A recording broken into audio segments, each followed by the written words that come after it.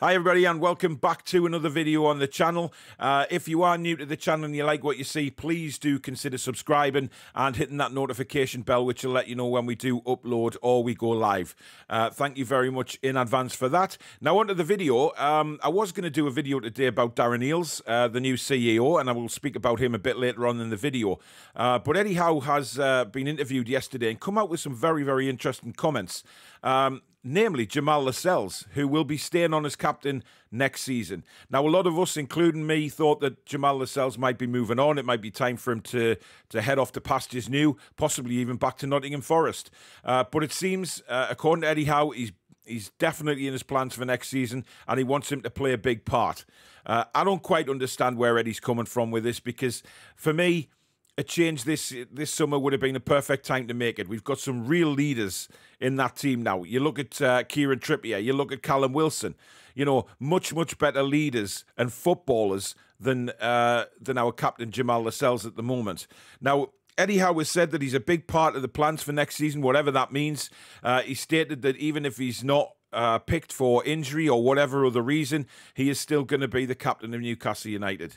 Uh, he's going nowhere, according to the manager. So, you know, any inclination that we had of him being sold this summer has been quickly thrown out the window by Eddie Howe. He is not going to be selling Jamal Lascelles and he's going to stay at the club. Uh, I don't think that Lascelles is the right man to captain this football club.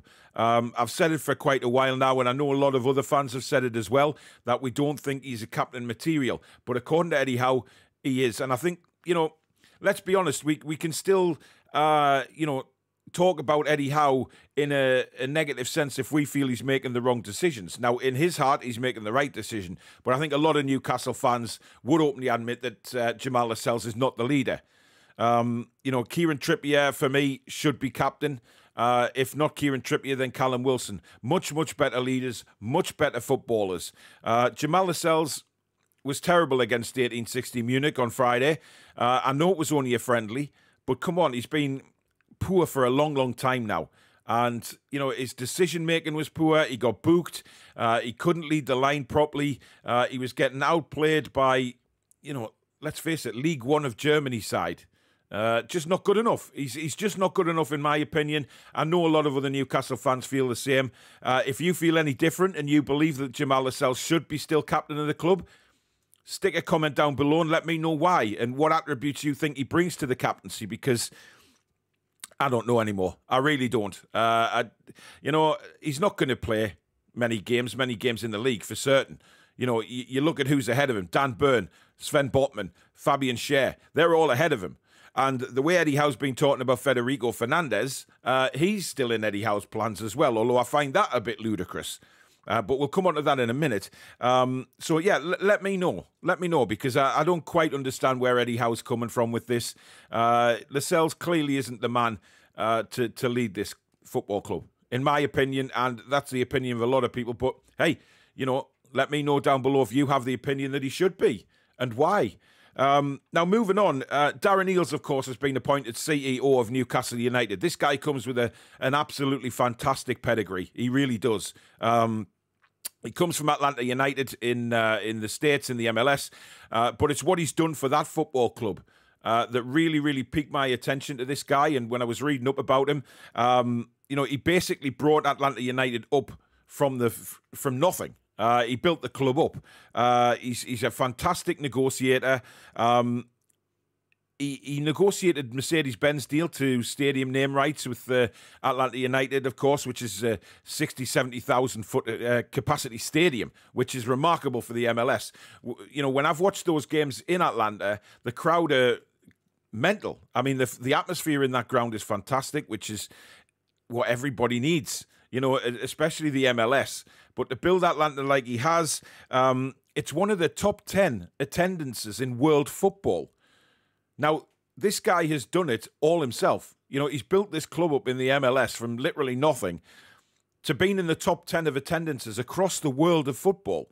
That's some goddamn achievement, that, uh, especially in the MLS. But like I say, Atlanta United are massively supported. They've got a wonderful stadium. And this guy was was part of it, if not the whole thing of it.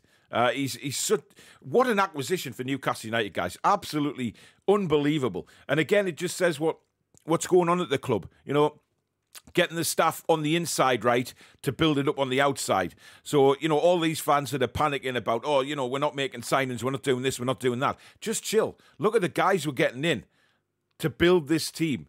And like me and Dad said at the very start, slow and steady progress, and we'll see where we are in a few years' time. But as usual, a lot of Newcastle fans expecting things to happen overnight. It's not going to. You know, we may not bring anybody else in in the transfer window, but hey, Let's just put the trust in these guys, especially with now Dan Ashworth on board, Darren Eales on board. And, and what I really liked when I was reading about Darren Eales is he, he listens to the fans. He, he really does listen to the fans.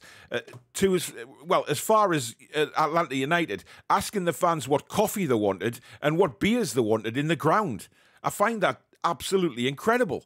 Um, but a, a wonderful, wonderful guy to have in uh, as a CEO. And if he's going to listen to the Newcastle United fans as well, you know, at least our voice will be getting heard, even more so than it is already under the new owners. So for me, Darren Eales, absolutely brilliant, brilliant acquisition to the football club. And I can't wait for him to get started and see what he can bring to the club. Um, now, finally, uh, on Fernandez and Manquillo, we've been wondering what's been going on with them. Uh, Fernandez is injured, and so is Manquillo. Manquillo is currently getting uh, treatment in Spain. Uh, now, a lot of people have said that this could be the end of Manquillo because Emil Krafth is now ahead of him. Uh, but if we're building a squad, guys, it may be that you know Eddie wants to keep Manquillo at the club as well uh, and and have that option because Manquillo can play on both sides. Remember, uh, he certainly didn't do anything last season to say that he was a poor player. You know, he, he came in and he did really well. And I think he's a good squad player, don't get me wrong. Emil Krafth has moved ahead of him simply because his performances on the back end of last season surprised a lot of people. Uh, but again, the Eddie Howe effect on some certain players. But it was interesting what he had to say on Freddy Fernandez. He said that um, he's he's still a leader. He's still one of the uh, the leaders of the group, one of the core leaders, and, and his experience is vital. Uh, so he was really talking uh, Fernandez up as if to say, well, Freddy's going nowhere. You know, this guy is a massive, massive leader in the dressing room. Uh, and then said he's part of his plans, but I don't quite understand where he's coming from because Feddy never got a look in last season. You know, he came on against Norwich, of course, uh, in that infamous game where Clark was sent off, Joelinton into midfield, um, and he was never seen again. Now, I thought he performed brilliantly alongside Fabian Schär. He was absolutely fantastic, uh, but never got a look in again. Now, we all thought last season something's going on, something behind the scenes. He said something, or he's certainly not flavour of the month. But every time Eddie Howe talks about Freddy Fernandez, he always bigs him up. Um, so I'm not sure where we go with this. You know, I, am really not sure. You know, d- does Freddy get an opportunity next season? And if so, does that mean that, you know, for me, he's a better defender than Lascelles as well? So that puts Jamal Lascelles fifth in the pecking order. So to, to make Jamal Jamal Lascelles captain is is is it, well for me it's ludicrous, guys. I'll say it now. I don't agree with it. I think it's wrong. Um, but in in Eddie we trust. We know that. We we've just got to see what pans out during the course of the season. Um, and if if any bid did come in for Jamal Lascelles, any sort of decent bid, then I think he's away. I really do. But uh, only time will tell on that, guys. But like I say, let me know down below in the comments what you think of Lascelles being captain. Is it the right decision? Or would you have making that took the decision this summer to change it? Because for me, it needed to be changed. Uh, he's he's not good enough to be captain for a start. Um, and what about Fernandez? Do you think he's actually going to get a look in next season, or Eddie Howe's just basically playing everything down and, and waiting for offers to come in for, for certain players like Manquillo and Fernandez. Uh, but I'll be very interested to read your comments, certainly about Lascelles. Uh, if you have enjoyed the video, guys, as usual, please give it the thumbs up. It does help YouTube uh, know that something good is happening on this channel. Uh, please do subscribe if you're new and hit that notification bell, which will let you know when we do upload or we go live on the channel. Uh, you can become a member of the Toon Review as well if you hit that join button just underneath the video. And of course, you can still donate to the channel if you wish while we're not on air. Uh, there's a thanks button just along from the uh, from the like button. Click that and you can make a donation to the channel that way as well. But thank you very much for watching, guys. Enjoy your day. Stay safe in the heat. Take care.